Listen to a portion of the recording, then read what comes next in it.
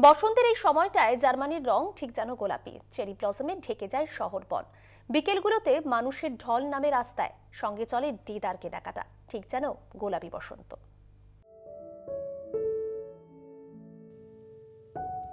ঠিক যেন গোলাপি বসন্ত।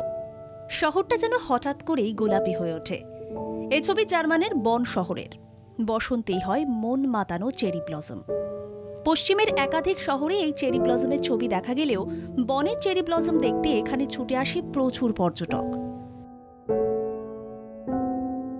কোভিডে গত দুবছর সবকিছু স্তীমিত হয়ে যায়। তবে এবার সংক্রমণ অনেকটাই নিয়ন্ত্রণে থাকায় সদ্য ফোটা বসন্তের রঙে মন ভেজাতে ভিড় জমিয়েছেন অনেক পর্যটক। স্থানীয়রা তো আছেন, বাইরে থেকেও অনেকেই এসেছেন গোলাপি ফুল দেখতে। বনের হিটরাসে সেই ছবি সামনে এসেছে। বসন্তের বিকেলে বেরিয়ে পড়েছেন অনেকেই। হিটরাসের দুপাশে বড় বড় চেরি গাছে শুধুই গোলাপি ফুল। একেবারে ঢেকে ফেলেছে আকাশ। সেই ছবি কেউ করছেন মনবন্দি, তো কেউ করছেন ক্যামেরাবন্দি আর এই চেরি ব্লসমকে কেন্দ্র করে সামনেই বসে একটি ছোট্ট মেলা, যা ফ্লি মার্কেট নামেই পরিচিত। সেখানেও চলছে টুকটাক কেনাকাটা। সে মার্কেটে রয়েছে একটি বিশেষত্ব। স্থানীয়রাই সেখানে পশরা সাজিয়ে বসে।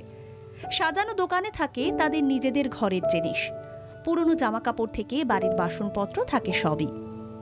বছর শেষে পুরনো জিনিস বাদ দিয়ে নতুন জিনিসে ঘর সাজানোর উদ্দেশ্যেই এই দোকানদারি বলেই জানা যায়।